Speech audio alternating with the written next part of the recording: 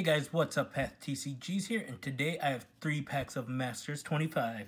I'm quite excited to actually crack this set since this will be the first time I'm cracking it. Um, didn't attend any drafts, I didn't have time, so this will make up for it. Alright, let's see what we have. So, since we're opening only three packs, let's see what we get. Act of Treasons, Auramancer, we have a Ruthless Ripper, Chartooth Cougar, Choking Tethers, Kavu Climber, Dragon's Eye Savants, Colossal Dreadmaw, Pat Pillage, Court Hussar. Alright, uncommons. We have a Krosan Tusker. Ooh, this beautiful art of the Red Elemental Blast. Zulaport Cutthroat from BFZ. Let's see what our rare is.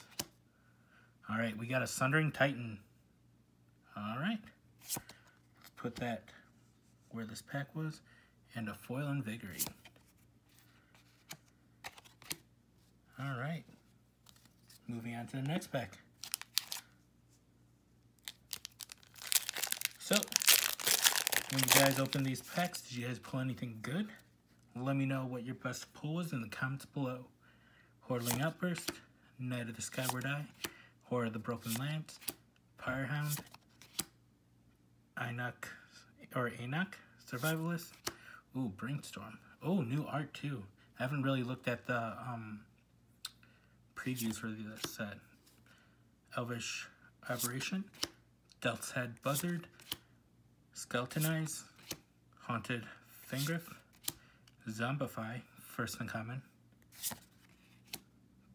uncommon, Broodhatch Nantuko, Murder of Crows, and a rare is, looks like we gotten Eladamri's Call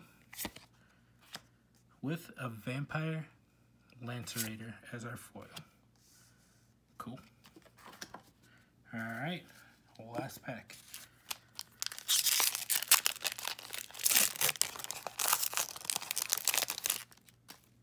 Let's hope we pull something good.